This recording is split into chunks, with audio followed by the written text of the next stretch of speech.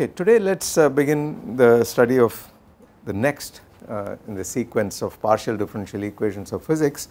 This is the Helmholtz equation and the equation itself is fairly simple.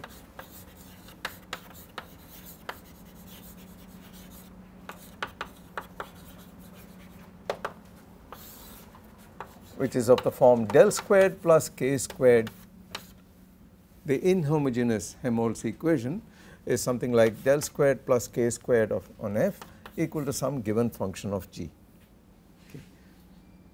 The you will recognize the homogeneous version of this as describing the normal no modes of a region. So, if for instance your uh, position vector r is an element of uh, some some region r then this equation del squared plus k squared on u equal to 0 in this region for r in this region is the homogeneous uh, Helmholtz equation. And it describes the normal modes of vibration if you like of this region r provided you satisfy certain boundary conditions. Suitable boundary conditions have to be specified.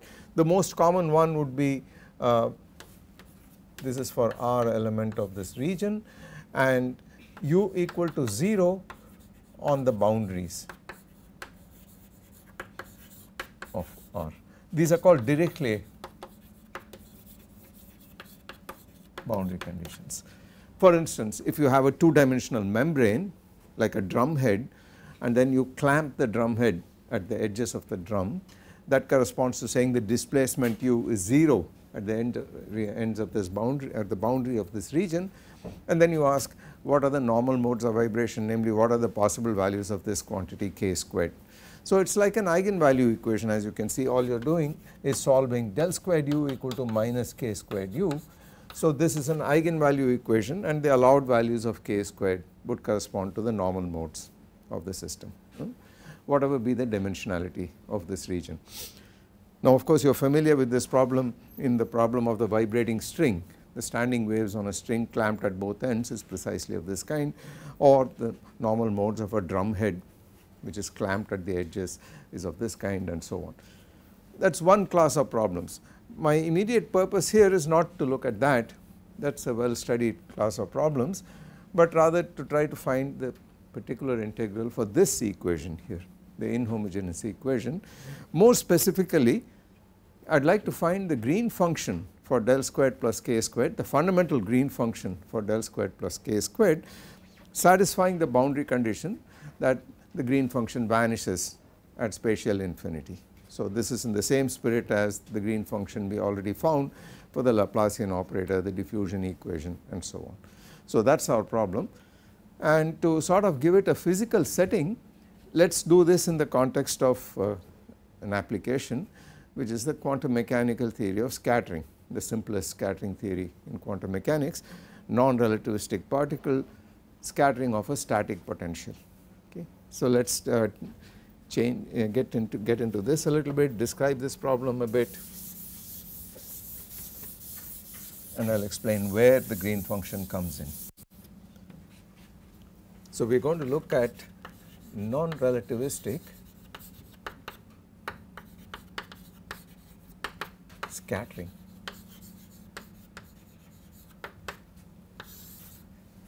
it is the scattering of a quantum mechanical particle from some fixed static potential okay and non-relativistic because we are going to avoid the complications that arise when the particle moves at relativistic speeds, speeds comparable to the speed of light. So we will use non-relativistic approximation. It is a static potential does not change with time and the problem we are looking at is time independent in the sense that we have a we would like to know what happens when I shoot a steady stream of particles at such a potential and ask what happens to the scattering in various angles okay. So the uh, just to put this in context if you have a scattering center here and we will assume that this particle has a mass m and it sees or moves under the influence of a central potential about some origin which I denote by V of r. So, there is a potential V of r and this is a central potential.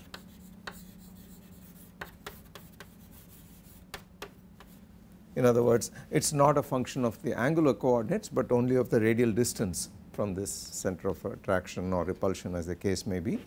And then the question is when I shoot a particle of a given energy at it, what happens to it? Now classically of course you are very familiar with this kind of problem.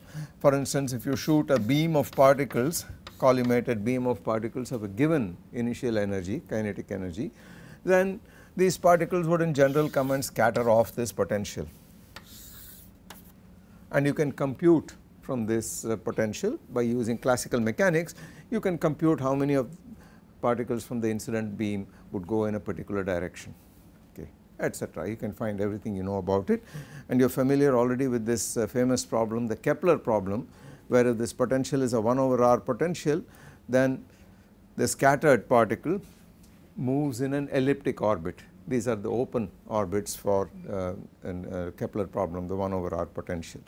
And the formula that gives you the scattering cross section in different directions is called the Rutherford formula. This is the famous problem of uh, scattering of alpha particles from the nucleus in the classical approximation. Quantum mechanically this is a slightly different problem because as you know in quantum mechanics particles do not have definite trajectories because of the uncertainty principle. So what you have to do is to specify some initial wave function or initial state of the particle and then ask what happens to this after the scattering occurs. Okay. So we are going to look at the stationary states of the problem in other words energy eigenvalues in which I prescribe the value of the energy. So we will look at in contrast to the problem of bound states for instance if you have a positive uh, uh, if you have a positive char positively charged nucleus and then you have the hydrogen atom problem this gives you a set of discrete energy levels corresponding to the bound states of the hydrogen atom but you could also ask what happens if I scatter an electron off a proton using this Coulomb potential. This thing is again as you know describable by a wave function but in this case the wave function is not normalizable it is a plane wave state to start with and it goes off asymptotically as another plane wave state.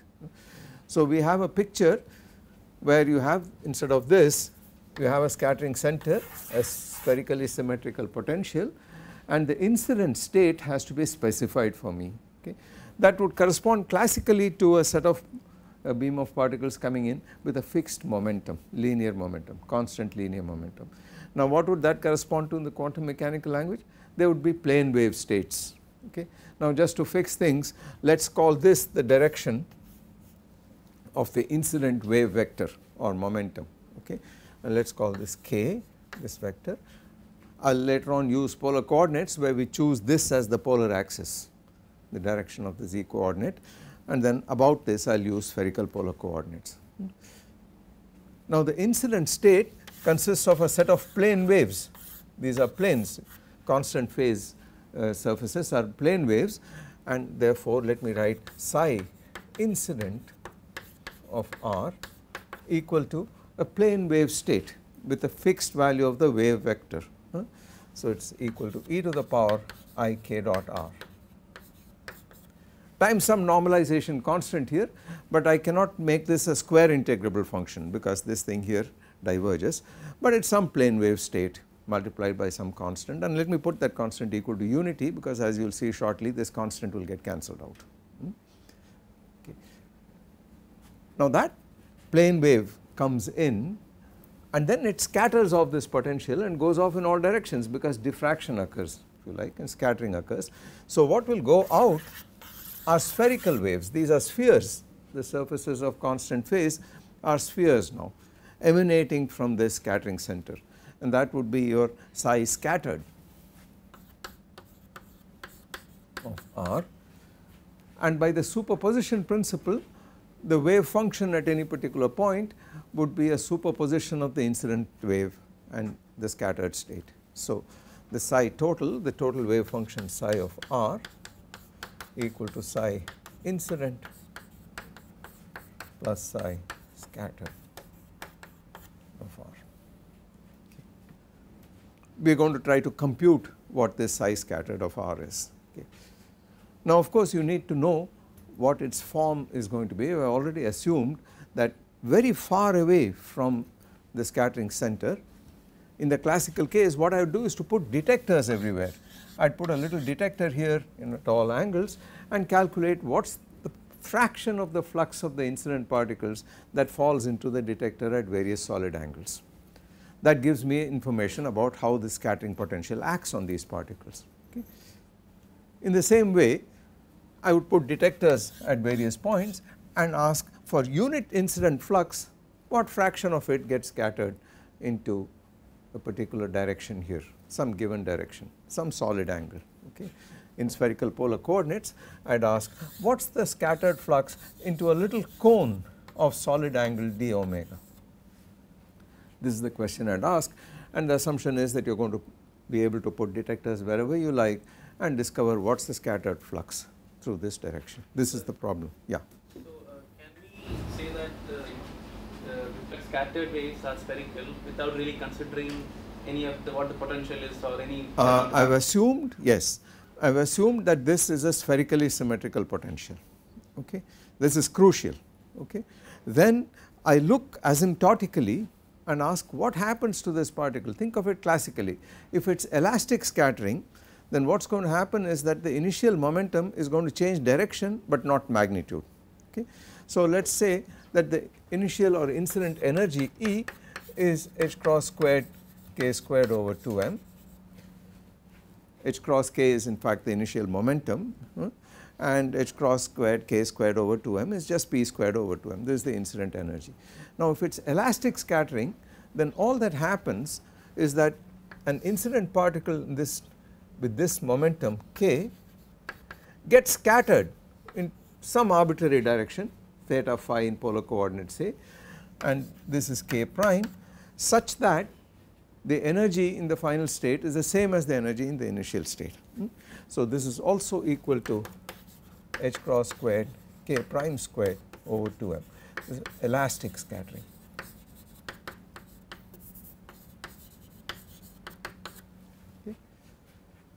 And this is all we are going to consider just elastic scattering from a spherically symmetric potential. Then it is clear that infinitely far away there are going to be outgoing spherical waves. Hmm? We are not going to answer the question of what is happening very close to the scattering origin here that requires an exact solution of the problem. Hmm? We are going to have to write the Schrodinger equation down and solve it there is no getting away from it that will tell you the full wave function at all points. But the assumption is very far away from the scattering center and we are going to look at only those potentials which die down sufficiently rapidly that this assumption is valid then the wave front the scattered wave has the form of spherical waves now what would it look like asymptotically? This will go for long distances, for very large distances, r tending to infinity if you like. So let me put that in brackets, we got to make it more precise. Hmm? It should have the form of spherical waves which are outgoing waves so that you can gets into the detector, right. Now what does that look like? Since we are working in 3 dimensions, these outgoing waves must look like e to the ikr over r. Why is this so? Because now when I take a sphere and ask at any particular point here what is the direction? This is the radius vector and what is the direction of the normal to the surface? It is like this. You are looking at the normal radial flux. So you get e to the plus i k r over r. Because k and r point in the same direction right? Okay. That is going to be the 1 over r dependence comes because the amplitude has to die down like 1 over r in 3 dimensions. Because the total amount of matter is conserved right okay. But this cannot be all it could be modulated by some fraction because I certainly do not expect the amplitude in this direction to be the same as in this direction or this or this or this. This is now going to be direction dependent. The R dependence is finished here asymptotically but it has got to have a modulating factor which is direction dependent. So there would in general be some f of 3, 3 parameters one parameter is that it will depend on the energy itself. After all even classically this is true that if I shoot a very energetic particle it will scatter less. I expect it to scatter less than a slow particle right. So therefore this would be a function of the energy which I can call k. Instead of the energy let me just call it k. Equivalent completely equivalent. It would also be a function of theta and phi. Namely where are you with respect to this origin but if this potential is spherically symmetrical I do not expect any phi dependence because that dependence is this is completely spherically symmetrical the spherical symmetry is broken by the incident direction because you have specified and singled out a particular direction namely the direction of the incident beam but I still expect axial symmetry about that direction.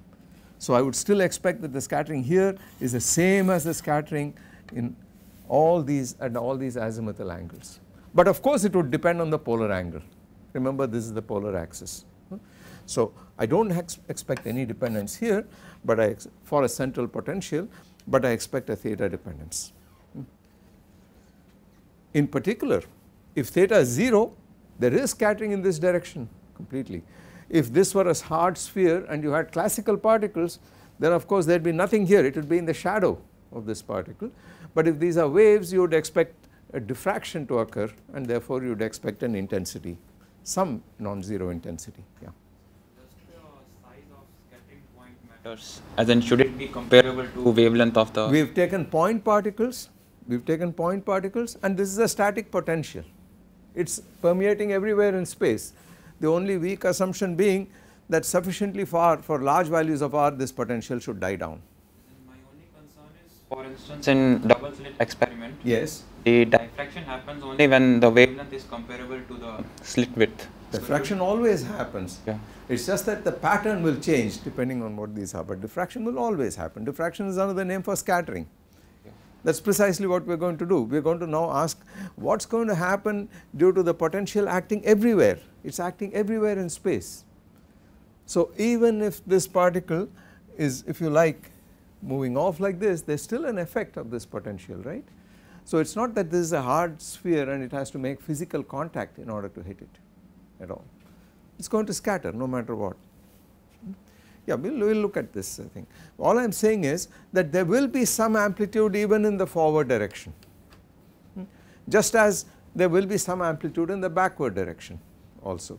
So theta equal to 0 corresponds to the forward direction and theta equal to pi is the backward direction and that is it theta is a polar angle runs from 0 to pi.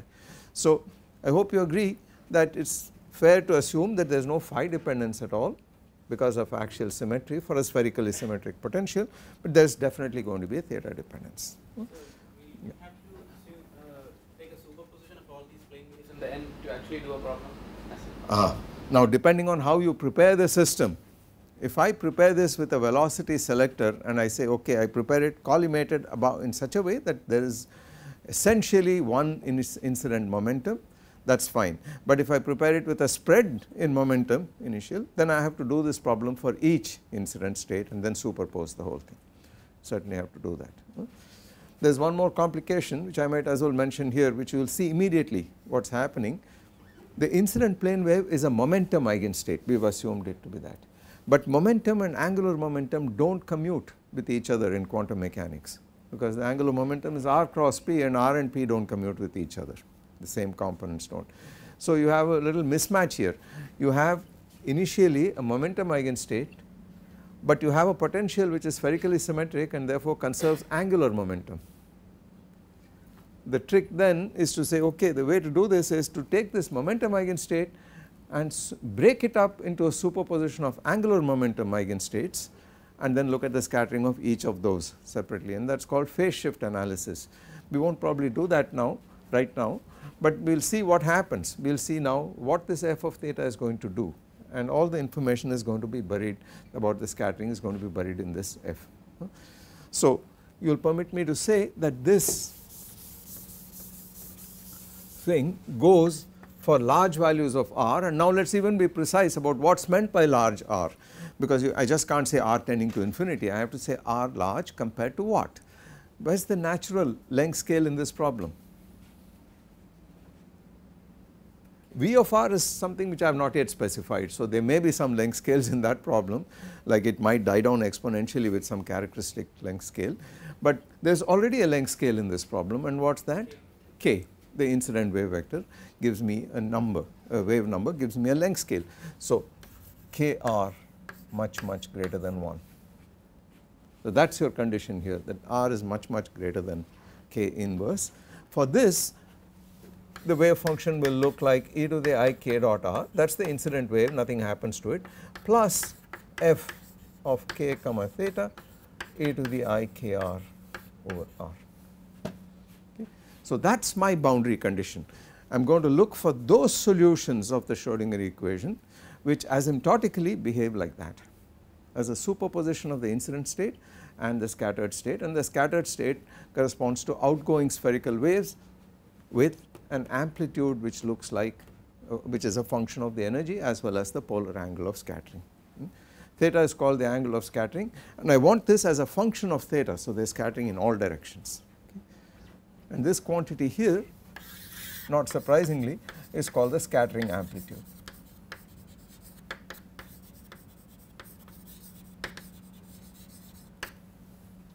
we will see immediately that it has a direct physical interpretation and is in fact a measurable quantity. Okay. This is not I emphasize again this is not the exact solution of the Schrodinger equation which we have not even written down yet, hmm, but I am looking for that solution which asymptotically behaves in this fashion okay. that is my boundary condition here in the scattering problem. Now let us see how we are going to get at this uh, quantity. First of all let us look at the significance of this f. What I would like to do is what is the flux that means number of particles crossing per unit area per unit time. What is the flux scattered flux through through the surface through ds, this surface element ds,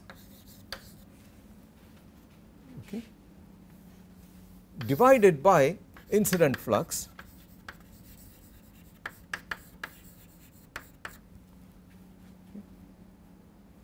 This will tell us what fraction of the incident flux is going through at a particular angle, solid angle, some given a, small infinitesimal solid uh, cone of solid angle d omega at some particular point theta comma phi. Hmm? This is equal to what is this equal to what would you define it as it is called the differential cross section how much of it is going through that particular cone. So this is equal to d sigma by definition and d sigma divided by not ds but d omega is going to be called the differential cross section but this is the quantity we want to compute. And now I want to show you that it is directly related to the scattering amplitude f as follows. First let us find the incident flux. Now the flux is given by the current J incident and as you know when you have the Schrodinger equation the current itself has an extremely simple formula for the current which is H cross over 2 mi psi star grad psi minus psi grad psi star.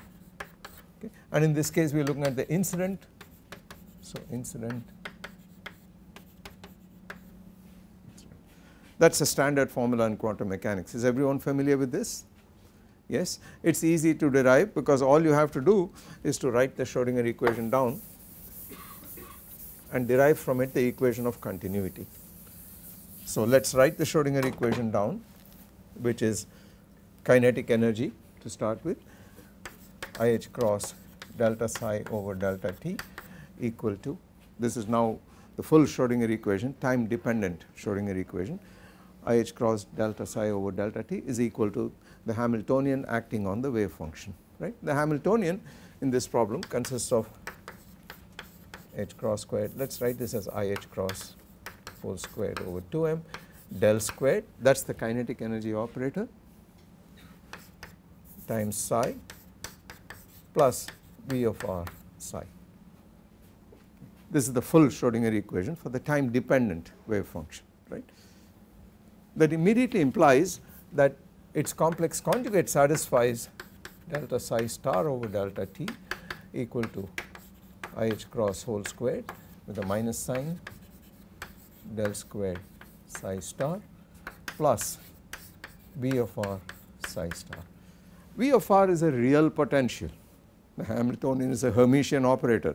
There could be cases where the potential becomes complex if for instance I have absorption or something like that you can model it with a complex potential. But here in this case probability is conserved completely there is no absorption of the incident flux at all and from these two equations I multiply this by psi star multiply this by psi and subtract one from the other. Hmm. and this immediately gives me IH cross delta over delta t mod psi squared. This is the probability density if you like hmm, is equal to IH cross whole squared over 2m and then you have psi star del squared psi minus psi del squared psi star and this portion cancels out precisely because V of r is real. Had that been V star then of course this would not happen right. So this cancels out but you can write this as a gradient. You can write this uh, del dot okay so you can write this as equal to so let us get rid of 1 IH cross. This is equal to this. This is equal to minus del dot j and then it is a trivial matter to read off j to be just this because I take the del dot of this there is going to be a term which is precisely that and then there is going to be del psi star dot del psi and that cancels out on both sides. So from that it follows that the current probability current is just given by this. Okay. But for the incident case what is this going to be equal to? Well psi incident is e to the ik dot r and the gradient of e to the ik dot r is ik dot e to the ik dot r. You are going to get a minus sign here and there is an extra minus sign here. So there is going to be 2 times uh, ik the 2i cancels and this gives you h cross k over m which is what you expect because h cross k is the momentum for a classical particle for instance it is p over m this is what you expect to be the flux. So this incident flux on this side in magnitude is h cross k over m. Now we need the scattered flux up here okay and what flux are we looking for? We are looking for the one that goes normally to the surfaces of constant r. So we are looking really for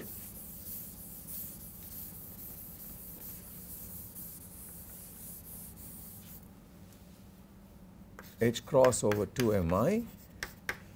So for the, for the scattered flux this is equal to and we are looking for the radial component. So this is equal to psi scattered star delta psi scattered over delta r radial component hmm, minus psi scattered times delta psi scattered star over delta r. That is the quantity we want to compute. Okay. This gives you the current, the flux, the radial flux and you have to multiply it by the area ds to give you the flux through ds and this is going to give you an r squared d omega right. So if you have a solid angle cone of solid angle d omega at a distance r then of course the area is r squared ds, uh, ds is just r squared d omega. Hmm. So what is this equal to? We need to use this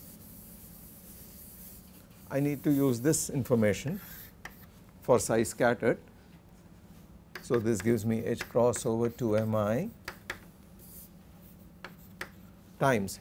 Now everywhere there is going to be this factor wherever psi star appears f is going to become f star because there is no reason why it should be real in general some complex number amplitude so you have to put an f star there and that is function of uh, function of angle alone does not get differentiated. So it is clear that from this and that you are going to get a modulus of f of k theta whole squared times these quantities. Okay. So now let us write that down. This is equal to psi scattered is e to the minus i k r over r. That is this portion minus because it complex conjugated. And then delta psi scattered over delta r is going to be i k e to the i k r over r that is the first part plus or rather minus e to the i k r over r squared. That is the derivative of 1 over r with respect to r. Okay. Then the other term is minus e to the i k r over r that is this portion and then I have to differentiate e to the minus i k r over r with respect to r. So there is a minus i k e to the minus i k r over r and then minus e to the minus i k r over r squared. That is the full derivative out here. Hmm? And this is easy to simplify. This gives me h cross over 2 mi mod f squared and then the first terms add up. So, there is a minus here and a minus here these two guys add up and therefore, you get 2 i k this factor and that gives you unity divided by r squared and the second terms cancel there is a minus 1 over r cube and there is a plus 1 over r cube.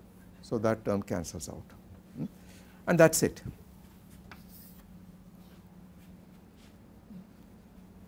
Which now gives me h cross mod f square h cross k over m because the 2 cancels and then mod f squared over r squared. So, this thing gives me again h cross k over m and then mod f squared over r squared and then this area element is r squared d omega. So, the incident flux completely cancels out. Now, you can see that instead of e to the i k dot r if I had taken some amplitude a times e to the i k dot r there have been a factor mod a squared which would have cancelled out on top and below. Hmm? This is equal to mod f squared d omega. So, this immediately gives us a crucial formula which says the differential cross section